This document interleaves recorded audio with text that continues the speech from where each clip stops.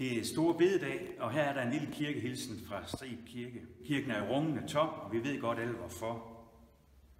Men det er faktisk ikke første gang, at Strib Kirke står tom på den her store bededag. For nøjagtigt 10 år siden, der oplevede Strib Kirke sit første og eneste og meget skamfulde messefald. Messefald, det betyder, at der var ingen, der kom i kirke på den hellige dag. Og messefald, det skete i forbindelse med, at man flyttede konfirmationerne her i Strib ud til Vejleby Kirke. Og nu havde man i generationer næsten været vant til, at stor bededag kunne man ikke komme i kirke alligevel i Strib, for der var det hele kirken fyldt op af festlige konfirmander og deres familier. Men øh, det var det ikke i 2010, så der kom ikke nogen i kirke, fordi folk troede ikke, at man kunne komme i kirke. Nå.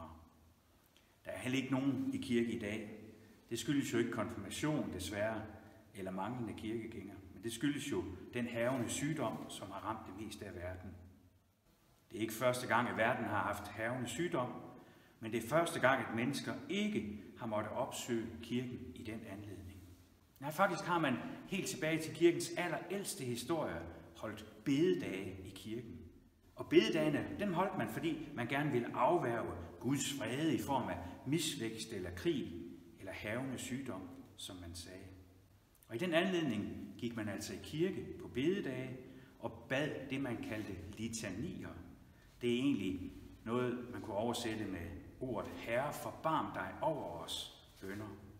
Man anråbte altså Gud for at forvente situationen. Det gjorde man faktisk tit, eller man gjorde det lige så tit, som situationen nu krævede. Nogle gange holdt man mange, og nogle gange få. I 1580 for eksempel holdt man i januar måned hele tre bededage i træk, fordi der viste sig en komet på nattehimlen, og man troede, at den komet var tegn på jordens undergang.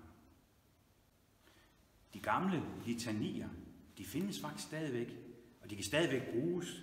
Bærest i vores salmebog, i den udgave, vi bruger her på side 814, der står det store litani.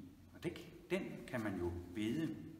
Den anden står der, skån os for havende sygdom, for sult og misvækst, for krig og undertrykkelse, for ulykke og ødelæggelse.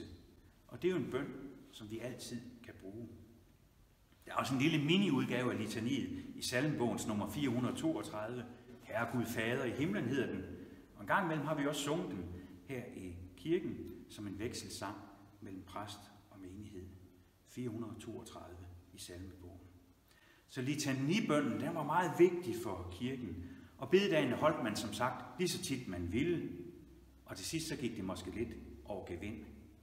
Indtil 1686, hvor man gjorde fjerde fredag efter påske til en fast bededag, altså den store bededag. Der er nogen, der forbinder det med Struens øh, 100 år senere, men det havde han ikke noget med at gøre. Det var en af de helligdage, han faktisk ikke fik afskaffet.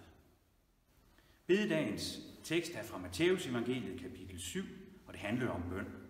At Gud han hører bøn, og det er på ingen måde er forgæves, at vi beder litaniet. Så det skal være min opfordring til jer her på Store Bededag, hvis I ikke har andet at lave. Prøv at finde litaniet i salmebogen, og prøv at bede den. Hvis du ikke kan finde den, så kan du finde et link til den på vores kirkes hjemmeside. Rigtig god Store Bededag.